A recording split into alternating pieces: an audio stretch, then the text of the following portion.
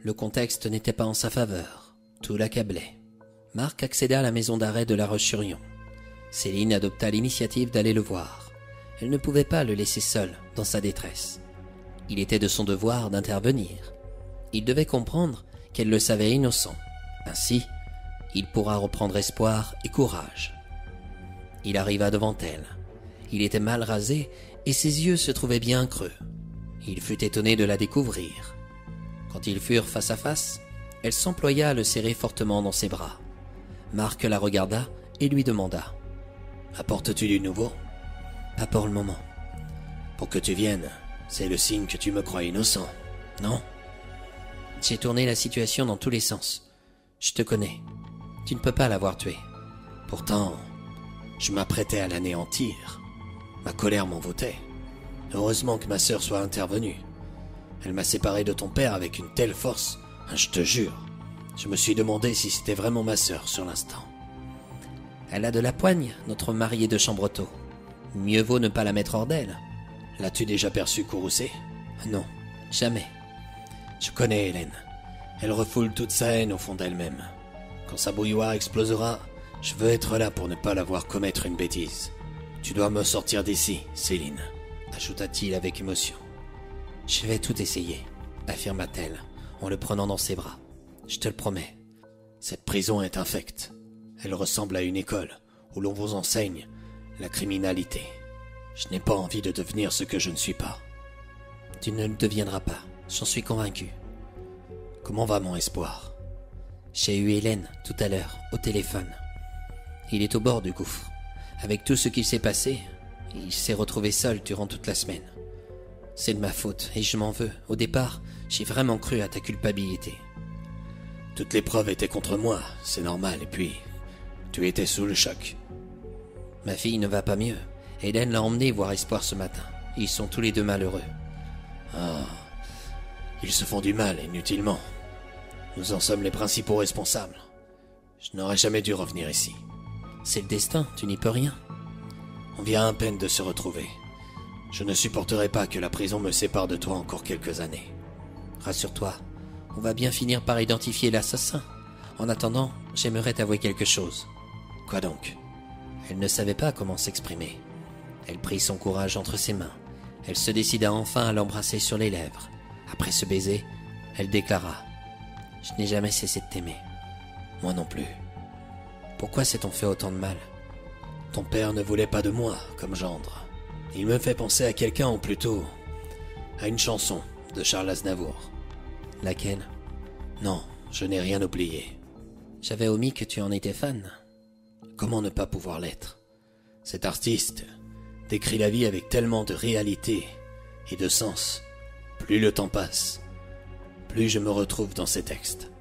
Soudainement, un gardien arriva. Une porte s'ouvrit derrière Céline. La visite était terminée. Rapidement, elle l'embrassa une dernière fois. Elle lui demanda de garder son courage en main. Cette situation prendra fin bientôt. Marc réintégra sa cellule. Céline avait accompli sa mission.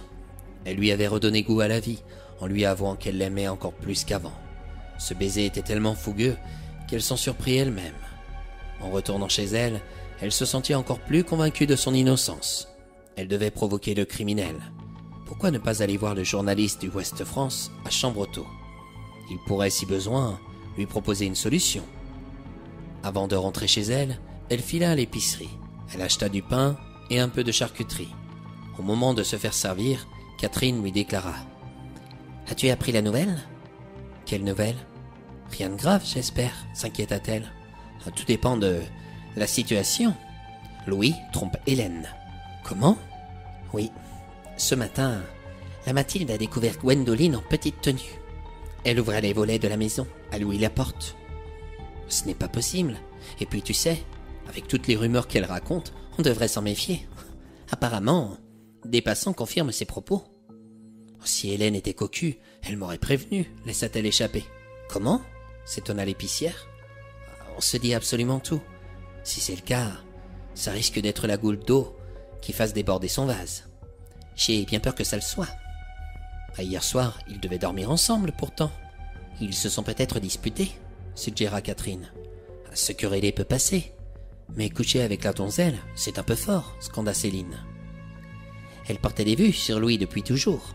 Lors des funérailles de ton père, des anciens ont affirmé avoir aperçu Gwendoline rentrer dans sa demeure. Il n'en est pas ressorti depuis. Il a peut-être dormi avec Hélène. Elle squatte peut-être sa maison sans qu'il le sache. Elle possède certainement un double de ses clés dans son dos. Pour le double, je pense que tu as raison. Je sais que nous devons nous méfier de la Mathilde. Mais la Gwendoline, elle est pire. On devrait toutes la surveiller si nous ne souhaitons pas apercevoir notre homme entre ses cuisses. Oh, ils sont quand même bien capables de se défendre. Ah, à les entendre, on dirait que c'est impossible. Et ça les arrange bien, osa Céline. En tout cas, nous ne manquons pas d'animation à Chambretot. oui, un meurtre, la semaine dernière, des funérailles hier, aujourd'hui nous avons le droit à des histoires de fesses. Entre nous, moi, tu gardes ça pour toi, avoua Catherine.